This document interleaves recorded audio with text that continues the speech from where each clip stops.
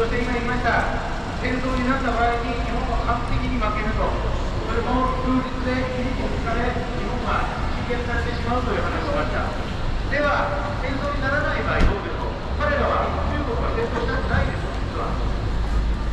必要があればやるだろうそれはそういうことです。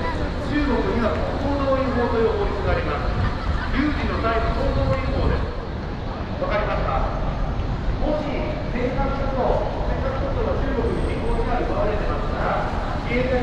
が